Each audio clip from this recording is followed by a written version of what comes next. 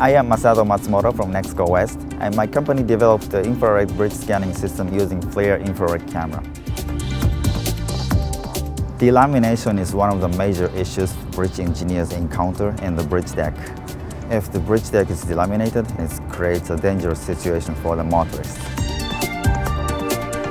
In the traditional method, uh, one lane should be closed for the bridge inspection and that causes a traffic jam and it takes days just to collect the field data. The inspector goes out to the field and drags a chain on the concrete deck to hear the hollow sound. And it depends on the people's experience and knowledge, so it includes the subjectivity in the bridge inspection results. And it causes a danger, both for the inspectors and the motorists.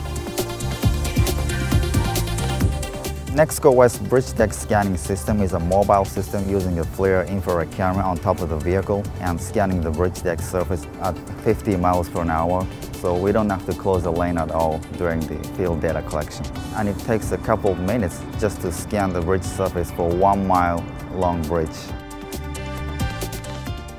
This infrared system can be used by a government employee or consulting company which is dealing with the bridge inspection service. The infrared inspection system paired with Nexco's software will help bridge owners avoid major repairs and make bridges safer for motorists.